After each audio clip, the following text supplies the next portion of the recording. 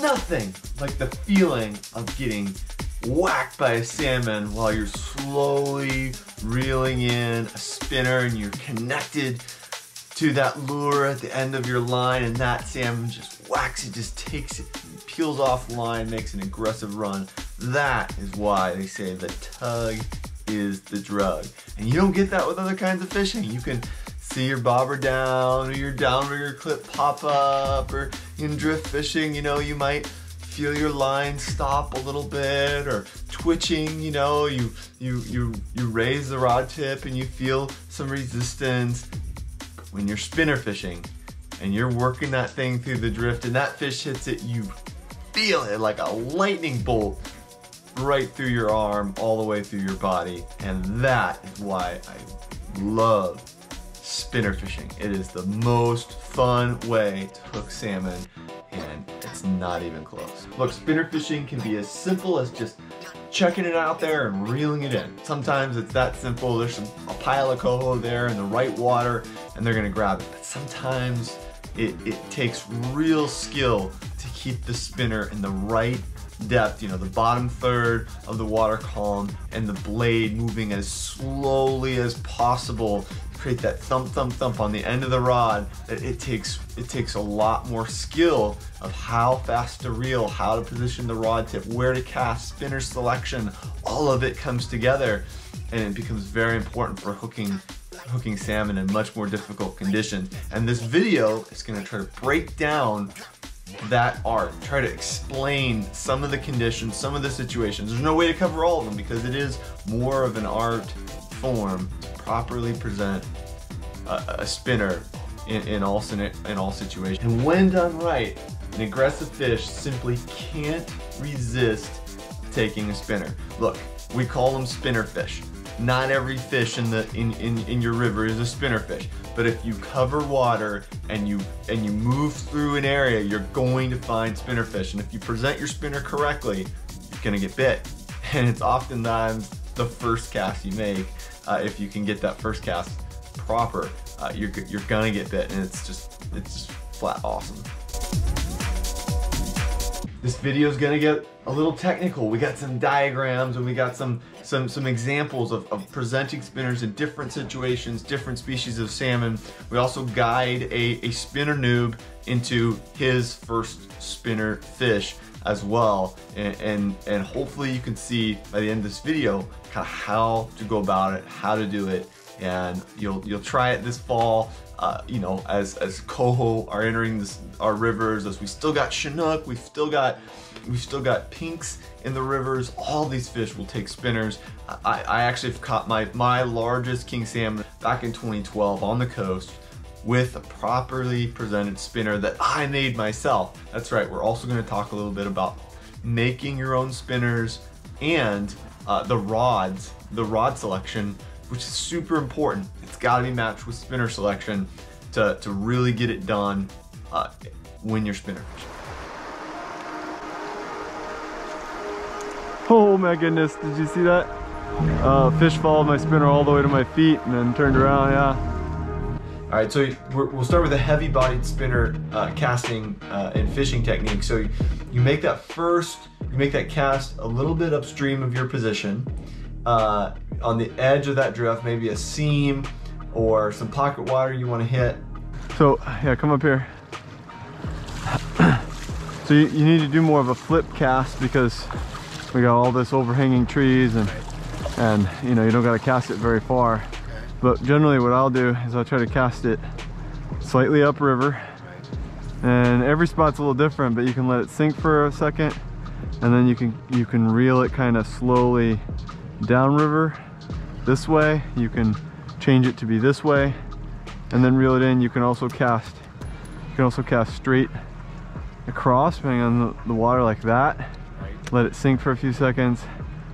You know, start out reel, start out reeling this way till you want to feel that tip pulsating, and then switch it here and just reel real slow. And you're just you're just kind of like you're trying to get the spinner to move slowly at the depth that the fish are at, you know. As it's as this your line angle is uh, coming down with the flow of the river to maybe 12 o'clock directly across from your uh, position where you're standing, uh, you, you really want to have your rod tip pointed low and slightly downstream uh, while you are reeling just enough to get the spinner blade moving. This will require some practice uh, as you want that spinner blade to move, but you don't want to reel too fast where you really pull it out of the out of the spot you're fishing and um, and move it too fast towards your position. This picture here is just is just depicting if you were to if you were to point your rod upstream instead of downstream, then you, you'll essentially you'll accelerate the swing so your spinner will move uh, start moving towards your position faster as it swings downstream. You might do this, let's say if you were fishing shallower water with a heavier spinner, you might want to do this. Most of the time though, you want to keep your rod pointing downstream so that, it, and use a lighter spinner in the case so that it, it you, you can really take advantage of, of the slot you're trying to fish. So that's kind of the just and you know once you feel like you've covered the area after just a few casts then just take a few steps downstream and keep moving usually the downstream person will hook oh careful. They'll usually hook fish uh, first or more because they're seeing your spinner first unless you don't cover an area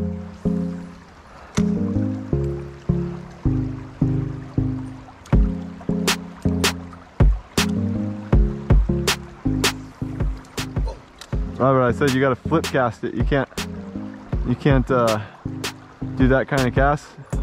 You're, you're throwing it way harder than you need. That, that reel just like spins line out of there. You just got to flip it in and it'll go right in where you want it.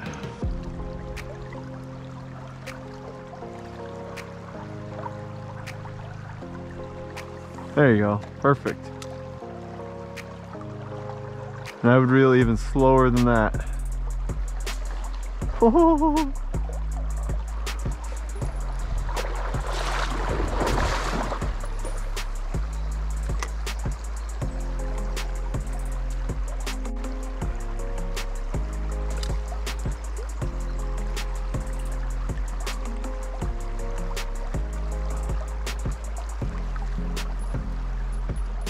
then just keep taking a few steps down this next picture is uh, you move from that downstream as it as the spinner passes you, as your line angle passes you, you move to a more of a neutral position, and this is what's called the swing. Your your spinner starts to swing across the drift uh, as it's coming closer to your side of the bank, but uh, it is is remaining downstream as it as it swings across. And again, here's another alternate uh, alternate scenario. If you were to point your rod downstream, you would force the spinner to swing faster. You may want to do that in certain positions, in certain situations, again, where maybe your your your spinner is hanging up on the bottom and you don't want to change spinners and you want it to swing through faster and remain above bottom, you may want to point your rod downstream. In most cases, you're going to want to point your rod in neutral position uh, and let it uh, and let it swing. A lot of times you'll get bit on the swing. I think I, I, get bit more from Chinook than Coho on the swing here, but but anything can can happen in, in, a proper spinner cast. So you you don't these fish will chase the spinner. Uh, you don't need to put it right in front of their face for them to, um, but they won't, there's, there's no sense in like um, covering the same, pounding the same area because if they didn't bite after the first time you did it, they're not gonna bite the second time. So you just kind of keep moving to cover, find new water, cover new water. Like I'd want to be putting a spinner right in front of that guy's face. It keeps rolling over there. Oh, very good. I thought this pink one was gonna get pounded. We haven't put a pink hoochie through here yet, so that's a that's a good, potentially very good.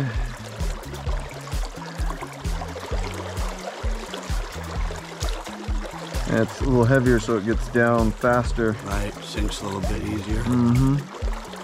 Now this is a little bit easier water to cover, but just stand. Yeah, don't don't go any further. Um, but yeah, flip it up to the like the rock as your first cast, and then and just kind of let it sweep. There you go. See, I point it down real, very slow, very slower than that. Do you feel the tip pulsating with the spinner? There you go.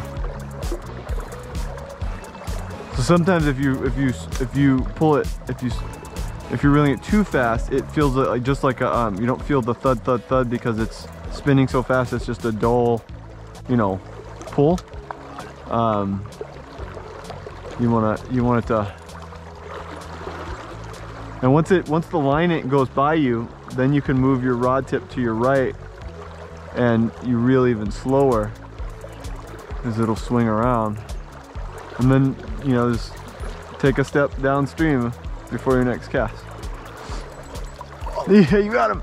He's on, he's on. Oh, no, no, no. I saw him come up. That was a nice fish. And then this last position here uh, the heavy-bodied spinner cast is is the hang down. So uh, you, your your spinner is done swinging. It's down. It's now directly below you at like a, a, a nine o'clock position, and, and, and, oftentimes this is where uh, where coho will bite. Uh, they, they will follow your spinner. Um, Chinook too, but coho to a greater degree. They're to follow your spinner, follow your spinner, and bite here as you're reeling it back towards your position. Oftentimes they'll bite within a few feet of the bank. And so it's important not to give up on a cast even when you're completed, you've completed the swing and, and you're in the hang down and, and, just reeling it back to you. Don't reel so fast that you pull it out to, you know, you, you pull it out from the depth that um, the, the coho might be sitting at or, or, or Chinook might be sitting at. When you feel him hit like that, it's pretty awesome because the, you gotta keep moving. He's not gonna bite again. No, you, you gotta find a new biter is the way it works. Sometimes if you rest them long enough, they'll bite again, but not, not right after that. Nice.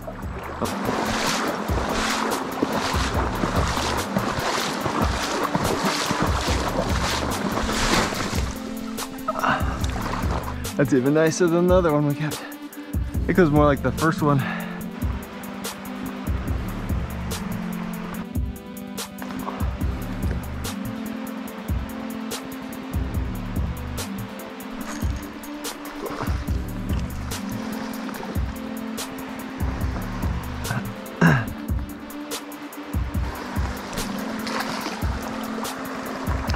Beautiful fish, another hatchery.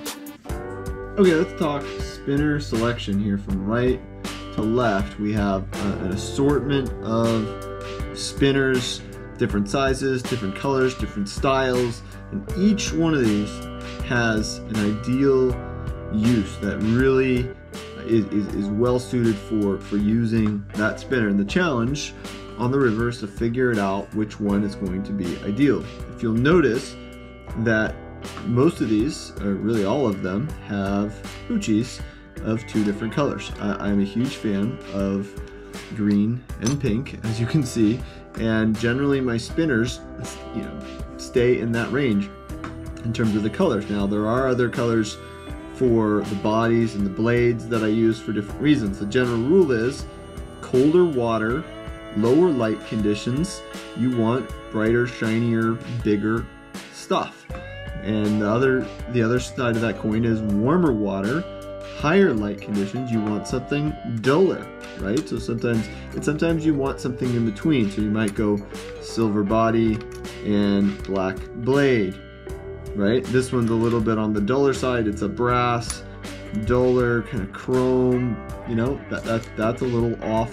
And then, and then over here on the far right, you've got pretty small profile. This is a size three brass blade pink, you know, uh, a silver silver body. You get the idea. There's kind of a spectrum we're working with here for different purposes. Now, I I have hooked, you know, a, a lot of coho and chinook on every one of these spinners, and it's not always true that clear water will is best with a small spinner. That's just kind of the rule. But you know, with salmon, steelhead, a lot of times uh, the rules are just a place to start. For example, in a very low water, clear situation, I hooked a very nice steelhead on this size 6 Vibrax. Now, I, I throughout the video, I talk about heavy body, heavy body technique and light body technique. The Vibrax style spinner is a is a is a light body spinner. This doesn't have a lot of weight to it, but because of the size, it ends up being around the same weight as, say, this guy over here. This allows me to do the upstream casting technique and I reel from upstream to downstream, which I'll explain a little bit later. Most spinner fishing is done with heavy bodied spinners, but most spinners sold in the store are light bodied spinners. So go, go figure. Uh, I, I, like North Fork lures. That's where this one and this one are. Uh, these are North Fork lures that I, I you know they make a, a, very quality heavy bodied spinner. I like to buy those, but I also like to buy the spinner parts assembled myself. I'm I need to find a new spinner part supplier because the ones that uh, I used to buy, the River Fisher spinner, uh, no longer no longer make those components. So, but I still have a lot of their kits left and make quite a few spinners with them still. So. I'll later talk about rod selection as well because your your your spinner size is matched is your hook size is matched to your spinner size and your rod selection needs to be matched to both take into account hook and blade. The larger the blade, the easier it'll be to feel the vibration on the tip of your rod. And the lighter your rod, the easier you'll be able to feel, feel the vibration of, of the, the spinner blade, which is very important for working the spinner properly. With a really slow action, light, ultralight rod, you need a smaller, you want a smaller spinner.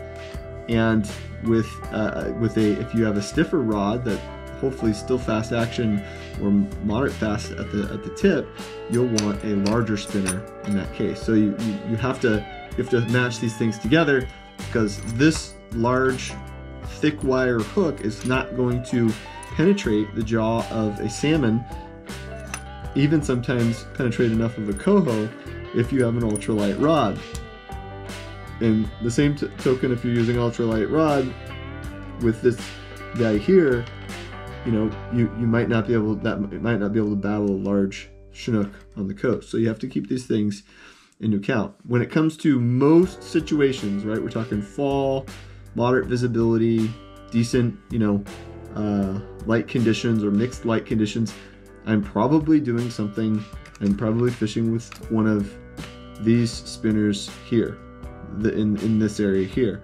It's not to say that this one and this one and this one won't work, this is probably the most successful spinner I've made by myself with my own my own parts, which is just a it's a size three body from River Fisher. It's you know sometimes I don't even have a green hooch. I'll just put a green piece of tubing here, and then it's the double uh, you know chartreuse green tape on the inside of the blade, and this works in a variety of conditions. But if I need to get down deeper, I might need to go to a size four, one of these guys or, or, or, or this larger size five to to you know get to the level where the fish are sitting so that the water depth is the other part of that this will work great in a you know say three to six foot feet of water but if I need to get down to eight or nine feet when there's moderate flow of the river current this this is not going to be a very helpful spinner so there's there's as wide a variety of approaches as there are spinner sizes types etc as there are unique drifts of, of water uh, to fish. And, and spinner water comes in all shapes and sizes. So that's just a few thoughts on how to match your spinner selection to the, the, the water you're fishing, the conditions you're fishing, and the species you're fishing. All right, so let's, let's talk about uh, light-bodied spinners. So this is your Vibrax, this is your standard light-bodied spinners. You know, it's a little different. You cast way more upstream, more like a two o'clock upstream position. You, get, you notice our angler in this picture has started um, uh, their cast more downstream uh, so that they can um, they can cover the water. And so make that cast directly upstream and you start reeling right away because that light body spinner is going to start sinking. And if you do it right and you, uh, this allows you to focus on the right retrieve speed uh, in terms of, uh, of how how fast you reel. If you do it right, you'll you only have to reel fast enough to get the spinner blade rotating, which you'll feel on the tip of your rod. and uh, you don't have to worry about depth as much because it'll it'll uh, it'll stay right around that mid lower third part of the water column and uh, and coho will absolutely go nuts for this. I, I, haven't hooked as many Chinook doing this, but this can be really deadly for coho um, and be a great way, uh, great way to get hooked up. All right, so let's talk spinner rod selection. What rod are you gonna use to throw out these spinners with all your newfound spinner fishing technique? Very important, rod selection and being matched to spinner selection is very important. Why is it important? Because you need to feel the thump thump thump revolution of of the blade around the spinner to know that it's working at the right speed and that it's spinning. This has really helped if you have a rod with a sensitive rod tip, usually meaning fast action, not always, and a larger spinner. I'm going to give you a couple examples here of rods that I own personally uh, but I'll also put some links in the description of comparable rods you can purchase on Amazon and uh, and match it to you know the kind of spinner fishing you're looking to do. Let's start with this one, probably on the heavier side. This is a Lamiglas X86 MTS 8.6 or 8 eight and a half feet. Line weight 8 to 17, lure weight, and this this is this is uh, this medium Magnum tip. It's a very fast action tip. You you can get get an idea of it there. And I the smallest spinner I will fish with this rod is probably a size three. Uh, you're gonna feel it really well on a four or a five or six.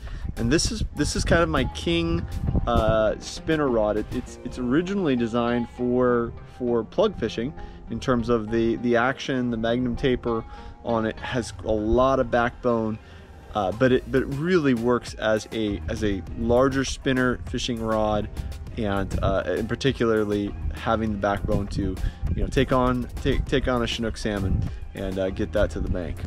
Now let's look at the other end of the of the spectrum here, and this is your G Loomis GLX ultra light 48 pound 116th the 3 8 ounce.